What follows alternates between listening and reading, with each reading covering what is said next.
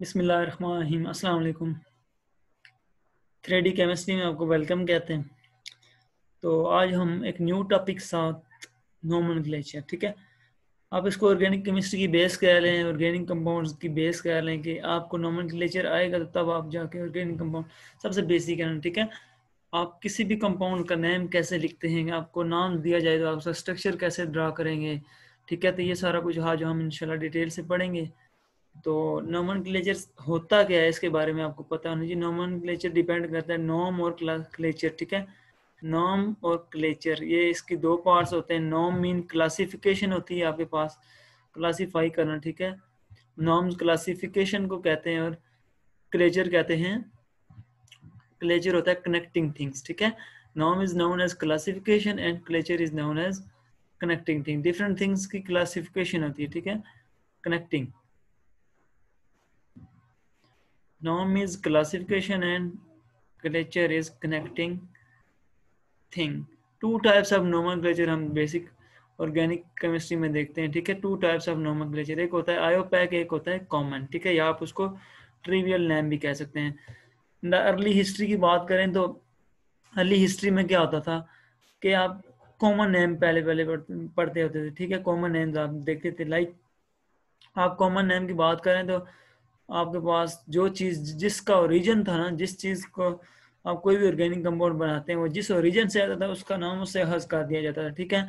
Like methane gas की बात करें सी एच फोर गैस जो है, इसको मार्श गैस भी कहते थे, ठीक है? इसको मार्श गैस कहते थे, इसको मार्श गैस कहा भी जाता है, ठीक है? वो इसलिए कि अब ये मर्शी प्लेसिस है मर्शली मीन दलदल वाली जगहों पे पाई जाती थी, ठीक है? तो इसको हम मार्श गैस कहते थे, ठीक है? मिथेन को मार्स गैस का नाम दिया गया। कॉमन नेम इसका मार्श गैस है, वैसे इसको आयोपैक में मीथेन हम कहते हैं, ठीक है? तो मीथेन को मार्श गैस कहा जाता था, या अर्ली हिस्ट्री कॉमन नेम इसका मार्श गैस भी कहा जाता था।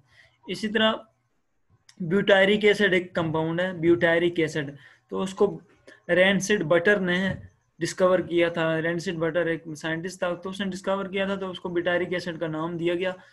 तो अब जो चीज़ ओरिजिन से लिंक करती थी, उसको हम कॉमन नेम का नाम देते, ठीक है? जो उसका ओरिजिन था उससे लिंक कर देते, उसको कॉमन नेम का, और आयोपैक नाम क्या था? ये international union of pure and applied chemistry ठीक है? International union of pure and applied chemistry की कॉन्फ्रेंसिस पास हुई तो नाइनटीन सेंचुरीज में सेवन या समथिंग ईयर्स में ये पब्लिश हुआ, ठीक है? फिर हमने, क्योंकि millions of organic compounds prepare कर रहे थे तो उनको नाम करना, उनको क्लासिफाई करना का नाम नोमोक्लेचर था, ठीक है? तो एक कॉमन और आयोपैक कॉमन आपको बता दिया गया ओरिजिन से आता है और आयोपैक पे हम आज डिटेल से पढ़ेंगे ठीक है तो? यहाँ कॉमन नेम की एक एग्जांपल दी गई है। कॉमन नेम की भी इम्पोर्टेंस बहुत ज़्यादा है ठीक है? कॉमन नेम भी बहुत ज़्यादा इम्पोर्टेंस है। लाइक like, अब इसका आयोपैक नाम and four hydroxy phenyl acetamide इसका आयोपैक नाम है ठीक है? N four hydroxy phenyl acetamide structure क्या है? सेम ही है। अब इसका ये आयोपैक नाम है और कॉमन नेम क्या है? पैरासिटामोल ठीक है? दोनों की इंपॉर्टेंस है। कैसे?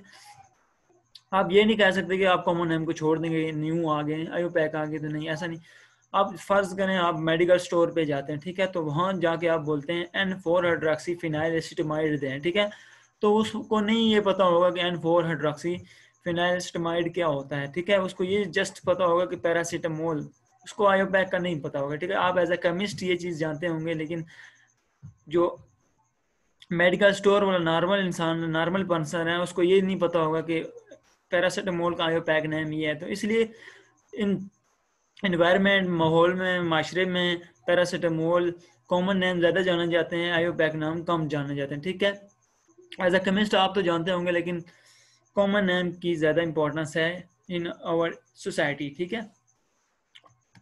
तो अब अल्केन्स का हम आयोपैक नेम की बात करें, ठीक है? आयोपैक नोमेनक्लेचर ऑफ़ अल्केन्स उसमें आपको कुछ चीज़ें जो हैं याद रखनी होंगी, कुछ चीज़ें, कुछ जो मिथाइल के सब्सटीट्यूएंट वगैरह हैं, उसकी बात कर लें तो कुछ सब्सटीट्यूएंट आपको पता होनी चाहिए उसके लिए, ठीक है? तो सबसे पहले आपको फ़र्स्ट टेन जो अल्केन है ना फ़र्स्ट टेन अल्केन उसके बारे में पता होना चाहिए। लाइक अब मिथेन सी एच फोर होता है तो ये अल्केन है तो इससे अल्काइल कैसे बनाएँगे? एक हाइड्रोजन हटा देंगे तो अल्काइल बन जाएगा मिथाइल इसी तरह ethane C H three C H three होता है तो एक हाइड्रोजन इससे हटाएँगे तो अल्काइल बन जाएगा इथाइल ग्रुप ठीक है? Methyl group ethyl group propyl butyl ये सारा आपको पता होना चाहिए, ठीक है? थ्री मेंबर अल्केन था प्रोपेन इससे एक हाइड्रोजन हटा दिया तो आपने प्रोपाइल बन गया. ये फ़र्स्ट टेन अल्केन नोमन के लिए आपको सबसे पहले फ़र्स्ट टेन अल्केन्स के बारे में पता होना चाहिए। इससे अल्काइल ग्रुप कैसे हाइड्रोजन हटा दिया तो अल्काइल ग्रुप बन गया। तो ये ब्रांचेस नोमन में आएँगी तो आपको ये चीज़ पहले पता होनी चाहिए, ठीक है? इसके अलावा आइसोप्रोपाइल ग्रुप्स होते हैं, उसके बारे में आपको पता होना चाहिए, ठीक है? आइसो मीन ब्रांचेस ठीक है? अब प्रोपाइल आइसो प्रोपाइल देखें तो ये सी एच है तो इसके साथ C H three C H three लगा हुए थे ये आइसो प्रोपाइल को रिप्रेजेंट कर रहा है, ठीक है? आइसो ब्यूटाइल अगर आप फोर कार्बन का एक यूँ देखें तो C H two C H C H three ऐसा कोई कंपाउंड ऐसी ब्रांच कहीं भी शो हो रही तो आप उसको आइसो ब्यूटाइल ग्रुप कहेंगे, ठीक है? इसी तरह ये आइसो ब्यूटेन है और आइसो पेंटाइल ग्रुप है तो ये आइसो पेंटाइल ग्रुप को शो कर रहा है। तो ये आपने याद करने हैं एज ए रटा आप कर लें, आपने इनके स्ट्रक्चर्स देखने ठीक है ब्रांचेस के, अपने माइंड में रखने तब जाके, जैसा कि पीछे फ़र्स्ट एन एल्केन्स आपने याद रखना है, इसी तरह ये भी आपने याद करना है। आइसोप्रोपाइल ग्रुप किस टाइप का होता है? C H C H three C H three लगाओ, ठीक है? यहाँ C H three C H three तो ये आइसोप्रोपाइल ग्रुप आइसो ब्यूटाइल क्या होता है? इसके आगे एक सी एच टू लगा दें हाइड्रोजन हटा के तो ये आइसो ब्यूटाइल ग्रुप बन जाएगा लाइक दिस ठीक है? इसी तरह ये आइसोब्यूटाइन ये सारे ग्रुप्स आपने याद रखने हैं। नेक्स्ट फर्दर इस तरह ब्यूटाइल ब्यूटेन एंड ब्यूटेन के ये सारे आइसोमार्स हैं। लाइक आप इसको देखें तो ये ब्यूटाइल ग्रुप है ये आइसो ब्यूटाइल ग्रुप है, ये सेकेंडरी ब्यूटाइल ग्रुप है, ये टशरी ब्यूटाइल ग्रुप है तो ये सारे आपको पता होने चाहिए, ठीक है? टशरी ब्यूटाइल क्या होता है? एक कार्बन, फर्दर थ्री कार्बन के साथ अटैच है तो ये टशरी हो जाएगा। इसी तरह सेकेंडरी है तो ये मेन कार्बन जो है, ब्रांचिंग वाली, ये आगे एक कार्बन और दो कार्बन के साथ तो ये सारे ग्रुप, ग्रुपिंग के बारे में आपको पता होना चाहिए जिस तरह फ़र्स्ट एन अल्केन, इस तरह आइसो ब्रांचेस वाले कुछ कंपाउंड्स हैं तो उसके iso propyl iso butyl secondary butyl तो ये सारे ग्रुप आपने याद करने हैं, ठीक है? तो नोमन ये ये ज़रूरी थिंग्स थी। नेक्स्ट अब रूल्स के बारे में डिस्कस करते हैं। अब नोमन अल्केन्स को देखा जाए तो या कोई भी नोमन होता है तो उसमें थ्री थिंग्स मोस्ट इंपॉर्टेंट होती है ना ठीक है? नोमन डिपेंड किस पे करता है? नॉर्मल क्लेचर में तीन चीज़ें होती हैं। एक होता है प्रीफिक्स अब नॉर्मल क्लेचर लिखते हुए तीन चीज़ें देखते हैं। कंपाउंड स्ट्रक्चर में देखते हैं या आप जब उसका नाम कर रहे होते हैं तो आपको तीन चीज़ें पता होनी चाहिए। एक प्रीफिक्स के बारे में पता होना चाहिए। दूसरा नॉर्मल में रूट होता है। Root and last one clature में आप क्या चीज़ देखते हैं? सुफिक्स ठीक है? ये तीन चीज़ें आपको पता होनी चाहिए। रूट प्रीफिक्स और सिफिक्स ये होते क्या हैं? ये भी हम देख लेते हैं, ठीक है? सुफिक्स अब रूट प्रीफिक्स और सुफिक्स क्या होते हैं? आप देखें तो प्रीफिक्स इंडिकेट कर होता है नंबर ऑफ़ ब्रांचेस को। दिखा किस नंबर ऑफ़ ब्रांच कि आपकी ब्रांच किधर अटैच है? ठीक है नंबर ऑफ़ ब्रांच को इंडिकेट करता है। आपकी ब्रांच किस पोजीशन पे अटैच है? ठीक है नंबर ऑफ़ ब्रांच को इंडिकेट करता है। या आप उसको कह रहे हैं कि सब्सटीट्यूएंट को ये इंडिकेट करता है। ठीक है, ये होता है रूट नंबर ऑफ़ ब्रांच और रूट की बात कर लें तो प्रीफिक्स क्या होती है? नंबर ऑफ़ ब्रांचेस होती हैं। रूट क्या होता है? रूट होता है नंबर ऑफ़ कार्बन कि आपके पास नंबर ऑफ़ कार्बन चेन कितनी बन रही है? ठीक है? Number of longest continuous chain आप उसको कह रहे हैं नंबर ऑफ़ कार्बन चेन ठीक है? या आप इसको लॉन्गेस्ट कंटिन्यूस चेन भी कह सकते हैं, ठीक है? ये होता है root number of carbon chain और सुफिक्स क्या होता है? S U W F I X suffix suffix होता है जी फंक्शनल ग्रुप का, ठीक है? फंक्शनल ग्रुप एफ़ जी हम इसको लिख देते हैं। सुफिक्स इंडिकेट करता है फंक्शनल ग्रुप और, ठीक है? लाइक अल्केन के लिए आप सुफिक्स क्या यूज़ करेंगे? ए एन ई इसी तरह ये हर फंक्शनल ग्रुप में सुफिक्स क्या होता है? चेंज होता जा रहा है। आप अल्कीन के लिए इसको ई एन ई यूज़ करते हैं। ई एन ई सुफिक्स क्या होता है? ई एन ई सुफिक्स होता है इन केस ऑफ़ अल्कीन ठीक है? अब आप अल्केन फंक्शनल ग्रुप सबसे पहले पढ़ेंगे तो आपने सुफिक्स माइंड में रख लेना है कि अल्केन के लिए ए एन ई यूज़ होता है, ठीक है? तो नोमन में थ्री थिंग्स होती हैं prefix root prefix number of branches को आइडेंटिफाई कर रहा होता है। रूट जो होता है नंबर ऑफ़ कार्बन को और सुफिक्स जो होता है फंक्शनल ग्रुप को, ठीक है? प्रीफिक्स रूट और सुफिक्स आपस में कनेक्ट होते हैं, तीनों चीज़ें मिलती हैं। तो इनकी ये क्लासीफाई होती है कनेक्ट होती है तीनों तो आपके पास कोई भी कंपाउंड का नाम लिखा जाता है, ठीक है? प्रीफिक्स रूट और सुफिक्स आपस में क्या होते हैं कनेक्ट होते हैं तो आपका एक नाम कंप्लीट बनता है। आइए हम एग्ज़ाम्पल देखते हैं तो आपको फर्दर क्लियर होगा। तो हमारे पास एक कंपाउंड है टू मिथाइल ब्यूटेन ठीक है? तो इसमें टू मिथाइल जो है ना टू मिथाइल प्रीफिक्स है। लाइक ये वन था, ये आप इसको टू कह दें, ये थ्री और ये फोर ठीक है? अब टू मिथाइल आपकी क्या है? ब्रांच है प्रीफिक्स है, ठीक है? टू नंबर है और मिथाइल ग्रुप है, ठीक है? टू पे ब्रांच अटैच है और कौन सा ग्रुप अटैच है? मिथाइल तो टू आप नंबर को इंडिकेट कर रहा है, इस नंबर पे और ग्रुप कौन सा इस पे अटैच है? मिथाइल ठीक है? तो टू मिथाइल हमारे पास क्या हो गया? प्रीफिक्स आप इसको बोल देंगे सिंपल पी से इसको इंडिकेट करें, ये प्रीफिक्स है आपका। और रूट क्या है? रूट नंबर ऑफ़ कार्बन को रिप्रेजेंट कर रहा होता है लाइक यहाँ आपकी कार्बन कितनी आ रही है? फोर ये देखें तो फोर कार्बन है रूट में। तो इसको फोर के लिए आप क्या यूज़ करते हैं? ब्यूट ठीक है? फोर के लिए आप यूज़ करते हैं ब्यूट और सुफिक्स हमने अभी देखा अल्केन है सिंगल बॉन्ड है तो इसके लिए सुफिक्स क्या यूज़ करते हैं? एन तो आपका कंप्लीट नेम क्या बन गया? प्रीफिक्स प्लस रूट रूट आपका ब्यूट था और सुफिक्स क्या था? एन ठीक है? ये सुफिक्स है आपका। दिस इज़ योर सुफिक्स तो आप कंप्लीट नाम लिखें तो देखें प्रीफिक्स पहले आता है टू मिथाइल फिर रूट ब्यूट और सुफिक्स एन तो ये हमने अभी देखा कि नॉर्मल क्लेचर में कोई भी कंपाउंड लिखें तो उसमें थ्री चीज़ें प्रेजेंट होती हैं। तो आपने देखा टू मिथाइल ब्रांच थी इसकी प्रीफिक्स ब्यूट इसका रूट था और सुफिक्स इसका ए एन ई थे ठीक है? तो ये हमने एग्जांपल देखी। आइए हम अब रूल्स की तरफ़ आते हैं। तो पहले आपको रूट देख लें, फिर हम रूल्स पढ़ेंगे। अब रूट अगर एक नंबर का रूट कार्बन का रूट हो तो आप उसको मैथ लिखेंगे। ठीक है? अगर टू का रूट हो तो एथ थ्री प्रो फोर के लिए आप रूट ब्यूट होगा।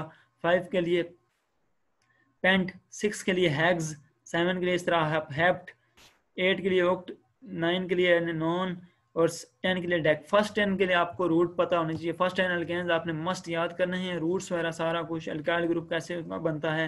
हाइड्रोजन हटा दें तो इथेन से इथाइल बन जाएगा। प्रोपेन से प्रोपाइल ये सारे आपने देखने हैं। और रूट भी आपको पता होना चाहिए। अगर दो का हो तो एथ होगा फाइव का होगा तो पेंट ये सारे आपको पता होने चाहिए। ठीक है? तो नेक्स्ट अब रूल्स की तरफ़ आते हैं। तो पहला रूल क्या कहता है? नोमन लिखते वक्त किसी भी ऑर्गेनिक कंपाउंड का आप पहला रूल ये देखते हैं कि आप find the longest continuous chain करते हैं, ठीक है? या रूट सेलेक्ट करते हैं। सिलेक्ट द रूट या longest continuous chain carbon chain का रूट सेलेक्ट करते हैं या आप उसको लॉन्गेस्ट कंटिन्यूस चेन बोलते हैं तो हमारे पास एक कंपाउंड गिवन है तो हमने इसका रूट सेलेक्ट करना है लॉन्गेस्ट कंटिन्यूस चेन तो हम यहाँ से आ रहे हैं सपोज़ ये हमारा यूँ जा रहे हैं। तो देखें one two three four five six seven eight का रूट बन रहा है अगर हम यहाँ से ऊपर चले जाते हैं। अगर नीचे आए तो तब कितने का बनता है? One two three four five six seven eight दोनों पॉसिबिलिटी एट की है तो आप स्टेट सेलेक्ट कर लें या आप कोई भी सिलेक्ट कर सकते हैं, ठीक है? ऊपर वाला भी ये भी, बस दोनों पॉसिबिलिटी है। तो आपका ये एट कार्बन का रूट बन गया, ठीक है? फ़र्स्ट क्या होता है? रूट सेलेक्ट करना होता है। नेक्स्ट नंबर करना होता है। Next number the longest continuous chain from the end of near the substituent वहाँ से आप नंबर स्टार्ट करें जब जहाँ से आपकी सब्सटीट्यूएंट ब्रांच आपकी नियर आ रही हो। लाइक like, ये एक दरख्त आपको शो हो रहा है जो आपने रूट सेलेक्ट किया तो उसके ऊपर ये एक ब्रांच लगी हुई है टेनी लगी हुई है ठीक है? तो आपने वहाँ से नंबर स्टार्ट करना है जहाँ से आपकी ये ब्रांच या उस दरख्त की शाख पास पास आ रही हो। इस दो साइड है ना इस साइड पे भी स्टार्ट कर सकते हैं इस साइड से भी। तो आपने उस साइड से करना है जहाँ से ये पास आ रही हो नियर आ रही हो। तो आप यहाँ से नंबर स्टार्ट कर ये वन कार्बन ये टू ये आपकी थ्री ये आपकी four this is five six seven and eight ठीक है? एट कार्बन होगी अब आपने क्या कर लिया? सेकंड रूल भी अप्लाई कर दिया कि आपने नंबर कर दिया। थर्ड क्या रूल कहता है? Identify the position of substituent अब किधर है? थ्री पे। क्या लगा हुआ है? C H two C H three तो इसको आप क्या बोलेंगे? थ्री इथाइल ठीक है? अब आप इसको लिख लेंगे थ्री पे, क्या आपकी सब्सटीट्यूएंट क्या है इथाइल है। थ्री इथाइल आपका सब्सटीट्यूएंट हो गया। नेक्स्ट क्या रूल कहता है? अटैच द सुफिक्स जो आपका फंक्शनल ग्रुप का सुफिक्स है, और कंप्लीट नेम लिख दें। पहले प्रीफिक्स फिर रूट और सुफिक्स तो अब आप कंप्लीट नेम लिख देंगे, ठीक है? सुफिक्स अटैच करके तो सुफिक्स आपका क्या आएगा? क्योंकि सेचुरेटेड है single bonded alkane functional group हम पढ़ रहे हैं तो सुफिक्स आपका ए एन ई आएगा, ठीक है? अब आपने कंप्लीट नेम लिखना है तो कंप्लीट नेम क्या बनेगा? थ्री पहले प्रीफिक्स आता है, अब ये भी याद रखना है कि नंबर और अल्फ़ाबेट के दरमियान आपने डैश डालनी होती है, ठीक है? नंबर नंबर और अल्फ़ा अब नंबर नंबर दो आ रहे हो तो आपने उसको कॉमन डालना होता है लाइक थ्री थ्री आ रहा हो तो आपने कॉमन डालना होता है, लेकिन आप नंबर से आपने अल्फ़ाबेट में जाना हो तो आपने फिर क्या करना है डैश डालनी होती है। लाइक थ्री इथाइल हमने डैश डाली। अब थ्री इथाइल के बाद आपने क्या आता है? थ्री इथाइल के बाद ये आपकी क्या होगी? प्रीफिक्स होगी। अब रूट कितने नंबर ऑफ़ कार्बन का था? एट का। एट के लिए हम क्या लिखते हैं? ओ सी टी ओक्ट ठीक है? अभी हमने पीछे पढ़ा, अभी एट के लिए ओक्ट होता है, ठीक है? और एंड पे क्या अटैच करते हैं? रूट भी हो गया प्रीफिक्स भी होगी तो एंड पे आप इसके साथ लिख देंगे suffix suffix alkane functional group है तो ए एन ई ठीक है? तो ये आपका कंप्लीट नेम बन गया जिसमें आपके पास सुफिक्स क्या था? सुफिक्स ए एन ई था, ये एस सुफिक्स रूट आपका क्या था? ओक्ट ओ सी टी ठीक है? ये रूट था आपका, और प्रीफिक्सेस आप क्या क्या थी? थ्री इथाइल ठीक है? ये आपकी प्रीफिक्सेस थी, ठीक है? Number and then group. Number क्या था? नंबर थ्री पे अटैच थी प्रीफिक्स और ग्रुप क्या था? इथाइल ग्रुप था। ठीक, थ्री पे इथाइल और तो ये आपका prefix three ethyl root oct बन गया और ए एन ई आपका सुफिक्स बन गया। ठीक है? ये आपके फ़र्स्ट फोर रूल हो गए। नेक्स्ट अगर फाइव रूल की बात करें तो उसमें ये होता है, अगर आपके पास दो या दो से ज़्यादा सब्सटीट्यूएंट अटैच हो, ठीक है? इफ़ आपके पास दो या दो से ज़्यादा सब्सटीट्यूएंट अटैच हो तो आपने क्या करना है? एज इट इज़ आपने चैन सेलेक्ट करनी है लॉन्गेस्ट कंटिन्यूस चेन और आपने अल्फाबेटिकली लिखना है लाइक इथाइल और methyl different function when two are more different substituent जब आपके पास दो या दो से ज़्यादा डिफरेंट सब्सटीट्यूएंट आए तो आप उसी तरह लॉन्गेस्ट कंटिन्यूस चेन सेलेक्ट करें, और नेक्स्ट आप प्रीफिक्स ब्रांचेस की पोजीशन आइडेंटिफाई करें और कंप्लीट नेम लिखें अल्फाबेटिकली तो ये कैसे लिखना होता है, हम एग्जांपल करेंगे, आपको क्लियर होगा. तो ये आपके पास आप रूट सेलेक्ट करें तो आप लॉन्गेस्ट कंटिन्यूस देखें तो यहाँ से सपोज़ आप आ रहे हैं, यूँ जा रहे हैं. क्या बन रही है आपके पास? One two three four five six यहाँ से ऊपर जाए, तब भी सिक्स बन रही है। अगर स्ट्रेट जाए तो क्या बनेगी? One two three four five six तो हम स्ट्रेट वाली सेट कर लेते हैं, ठीक है? ये हमने स्टार्ट कर ली। दोनों सिक्स बन रही थी। पॉसिबिलिटी दोनों में हम स्टेट वाले सेलेक्ट फिर नेक्स्ट क्या करना होता है? नंबर करने होते हैं, ठीक है? नंबर वहाँ से, जहाँ से आपकी ब्रांच पास पास आ रही हो। इधर से नंबर स्टार्ट करें तो ये वन ये टू तो यहाँ से स्टार्ट करें तो यहाँ टू पे मिथाइल लेकिन इधर टू पे कोई C S two C S two hydrogen लगे हुए तो यहाँ से स्टार्ट करते हैं। ये आपका वन ये आपका कार्बन नंबर टू ये आपका carbon number three carbon number four carbon number five carbon number six आ गया ठीक है? अब आपने नेक्स्ट क्या करना है इसके लिए? जो आपकी प्रीफिक्सेस हैं, उसको लिख लेना है। तो टू पे इथाइल है मिथाइल है, ये वाला टू मिथाइल और थ्री पे आपका क्या इथाइल अटैच है, ठीक है? Two methyl and three ethyl ठीक है? आपने प्रीफिक्स साइड पे लिख लेनी है और फिर एंड पे आपने complete name root prefix suffix को मिला के नाम लिखना होता है, ठीक है? इसलिए हम इसको बोलते हैं ना connecting things nomenclature is known no mean classification and clature mean connecting things ठीक है? टू मिथाइल थ्री इथाइल या फोर इथाइल बल्कि टू मिथाइल फोर इथाइल ये इस फोर पे है।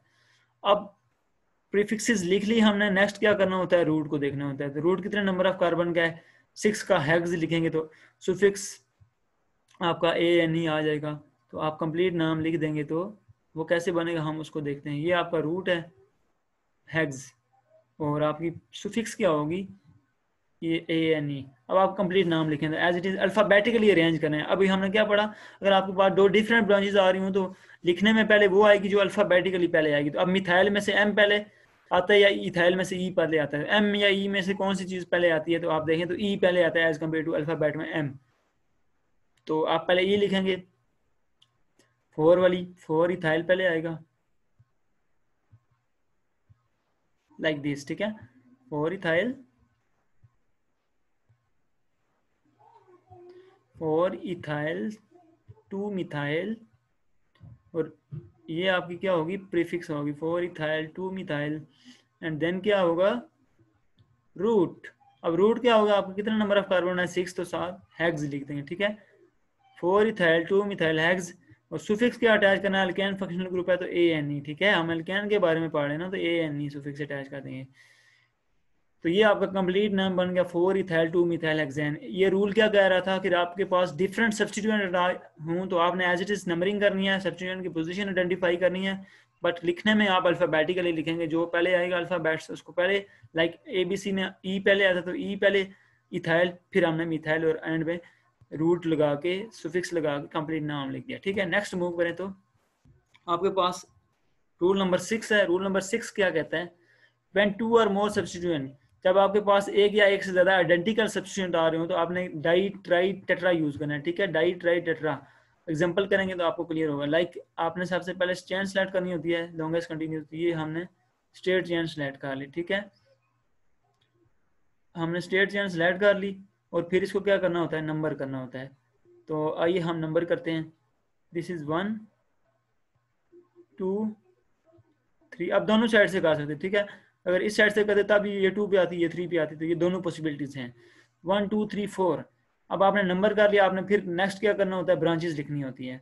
तो आप देखें तो आपके पास इधर टू पे भी मिथाइल है और ये थ्री पे भी है। ये टू पे और ये थ्री पे। तो आप टू कामा थ्री लिखेंगे, क्योंकि दो सेम सब्सटीट्यूट आ रहे हैं तो टू कामा थ्री और डाई लिखेंगे साथ, ठीक है? दो आ रहे हैं तो डाई तीन आएँगे तो ट्राई ये आपको गिवन है di tri tetra two comma three di methyl ये आपकी क्या होगी? प्रीफिक्सेस होगी। अब रूट कितने नंबर ऑफ़ कार्बन का है तो फोर का तो आप इसके साथ ब्यूट लिख देंगे। Two comma three di methyl but और एंड पे आपने सुफिक्स अटैच करना होता है तो वो क्या है? ब्यूटेन तो ये आपको नेम नीचे गिवन भी है two comma three di methyl butane ठीक है? ये हम ऐसे लिखते हैं, अगर आपके पास दो या दो से ज़्यादा सेम सब्सटीट्यूएंट आ रहे हो लाइक यहाँ तीन आ रहे हैं, यहाँ स्टेट चैन ही बनेगी, आप इसकी लॉन्गेस्ट कंटिन्यूस चैन सेलेक्ट करें तो ये स्टेट ही बनेगी, ठीक है? स्टेट चैन बन गई।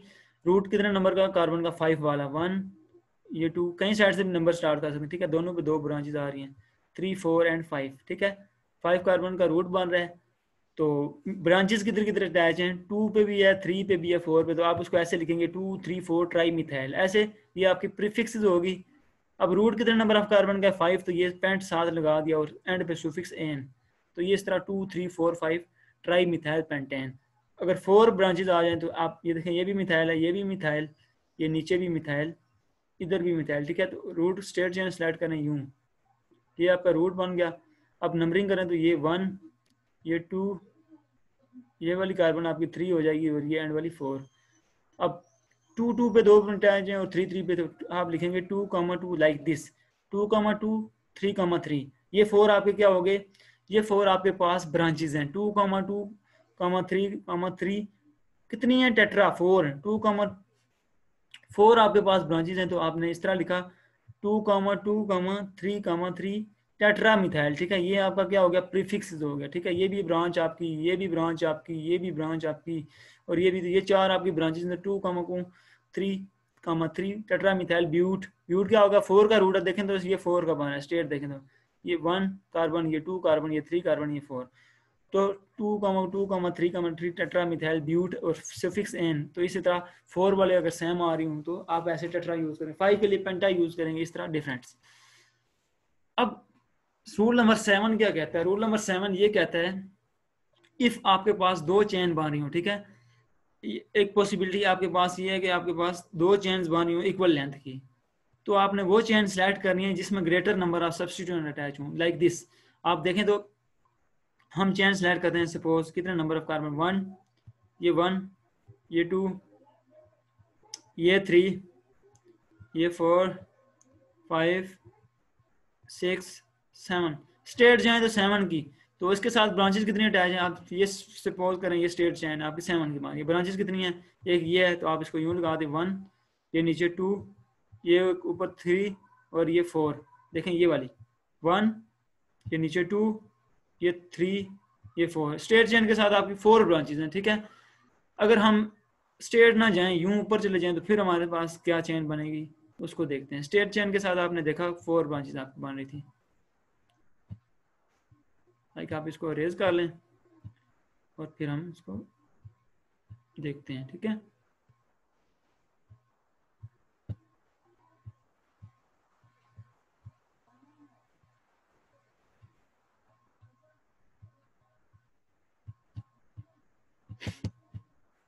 लाइक दिस अब हम ऊपर जाते हैं, ठीक है? ये देखें तो ये फोर फाइव ये सिक्स और ये सेवन अब हमने ब्रांचेस सेलेक्ट करनी है तो ब्रांचेस देखें तो ये आपकी चैन बन रही है, यूँ जा रही है. सेवन की है, ये ऊपर जा रही है, ठीक है? ये आपकी सपोज़ चैन बन रही है, ठीक है? यूँ. तो ब्रांचेस देखें तो एक ये और ये एक पूरी ब्रांच आ जाएगी. ये पूरी यहाँ से यहाँ से आप इसको काट करें तो आपकी दो ब्रांचेस हैं, ठीक है?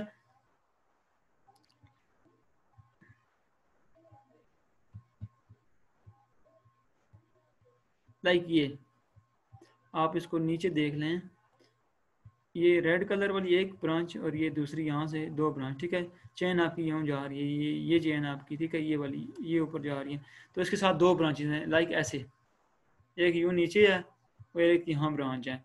तो यहाँ दो ब्रांचेज हैं और ये दो हैं और इधर कितनी हैं? फोर हैं। तो आप वो वाली सिलेक्ट करेंगे, अगर आपके पास इक्वल लेंथ की चैन बन रही हो, आपने वहाँ से सिलेक्ट करना है जहाँ से ज़्यादा ब्रांचेज आ रही हूँ तो आप फिर कौन से सिलेक्ट करेंगे?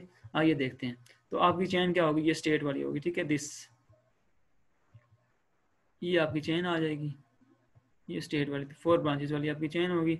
उसी तरह आपने नंबरिंग करनी है नंबरिंग वहाँ से स्टार्ट करनी है जहाँ से आपका सब्सिट्यूशन लोएस्ट पोजीशन पे आए तो इधर से स्टार्ट करेंगे तो थ्री पे आ रहा है, इधर से स्टार्ट करेंगे सब्सिट्यूशन लोएस्ट टू पे आ रहा है तो यहाँ से टू वन टू ये आपकी थ्री हो जाएगी। ये फोर ये फाइव और ये सिक्स और ये सेवन ठीक है? तो फिर आपने क्या करने होते हैं? प्रिफिक्सेस लिखने होते हैं तो टू थ्री फाइव ये टू पे थ्री पे और फाइव पे ट्राई मिथाइल आया तो two three five tri methyl और आगे फोर पे एन प्रोपाइल है तो ये देखें एन प्रोपाइल ये प्रोपेन से आपने एक हाइड्रोजन हटा दिया तो एन प्रोपाइल बन गया तो four N propyl heptane hept मतलब सेवन का रूट है और एन इसका सुफिक्स है तो ये आपने इस तरह नैन कंप्लीट लिखना होता है। नेक्स्ट मूव करें तो रूल नंबर एट क्या कहते हैं? रूल नंबर एट ये कहता है कि when branching first occurs at an equal distance आप रूट सेलेक्ट कर लिया आपने. सपोज़ आपका ये स्टेट चेन का रूट बन गया, ठीक है? नंबरिंग भी कर दी. नंबरिंग नहीं, आपने पहले रूट सेलेक्ट कर दिया, फिर आपने ये देखा कि आप दोनों साइड से नंबर कर रहे हैं तो फ़र्स्ट ब्रांच टू पे ही आ रहे हैं. इधर से करेंगे तो तब भी टू पे आएगी, इधर से करेंगे तब भी टू पे आएगी तो फिर आपने क्या करना है? फिर वो कहता है रूल नंबर एट के आपने नेक्स्ट मूव कर लेना है, आगे पॉइंट ऑफ़ डिफरेंस देखना है। तो आप यहाँ से नंबरिंग कर रहे हैं सपोज़ वन टू पे ब्रांच आ गई, ठीक है नेक्स्ट पॉइंट ऑफ़ डिफरेंस तो यहाँ कोई ब्रांच नहीं है। अगर इधर से करेंगे तो वन टू पे मिथाइल है और थ्री पे भी मिथाइल है, ठीक है? तो फिर आपने रूल पढ़ा कि वहाँ से आपने नंबरिंग करनी है, जहाँ से नेक्स्ट पॉइंट ऑफ़ डिफरेंस आ रहा हो। तो इधर से करेंगे तो इधर next point of difference three पे आ रहा है, लेकिन इधर next point of difference four पे आ रहा है। मतलब थ्री पे कोई चीज़ नहीं है फोर पे आएगी। तो आपने फिर इस साइड से नंबरिंग स्टार्ट करनी है, जहाँ से नेक्स्ट पॉइंट ऑफ़ डिफरेंस जल्दी आता हो। तो नंबर स्टार्ट करें आप इसका। तो नंबर आपका वन ये वाले कार्बन ये टू ये आपका थ्री ये four and five then six prefixes आप लिख लें। प्रीफिक्सेस देखें तो टू थ्री फाइव पे मिथाइल अटैच है। तो टू थ्री फाइव तीन है। तो आपने रूल रूल पढ़ा उसके लिए ट्राई मिथाइल यूज़ होता है। Two three five tri methyl root क्या कितना नंबर ऑफ़ कार्बन का है सिक्स का तो आप उसको हैग्स लिखेंगे और सुफिक्स क्या यूज़ होगा? ए यानी तो ये उसका कंप्लीट नेम हो गया। Two three five tri methyl hexane हम इसको not two four five tri methyl hexane नहीं लिख सकते थे। कैसे? आप इसको ऐसे नहीं कर सकते। लाइक like, आप यहाँ से नंबर स्टार्ट कर दें। ये टू ये थ्री ये फोर ये फाइव ठीक है? और ये सिक्स आप इसको ऐसे नहीं कर सकते कि टू टू पे ब्रांच अटैच है मिथाइल फोर पे अटैच है और फाइव पे अटैच है तो आप two, four, five tri methyl लिख देते और रूट इसका हैग्स रहे हैं। आप ऐसे नहीं लिख सकते, क्यों? ये गलत है। एक्चुअली आपने देख, पढ़ा कि रूल क्या कहता है? रूल ये कहता है कि अगर आपके पास ये चीज़ बन रही हो second point of difference same बन रहा हो तो थर्ड अपने, आपने चले जाना है नेक्स्ट मूव कर लेना नेक्स्ट पॉइंट ऑफ़ डिफरेंस देख लेना होता है, ठीक है? तो ये रूल नंबर एट था। होप सो नोमन आपको अल्केन्स का नोमन समझ आ गया होगा रूल समझ आ गए होंगे।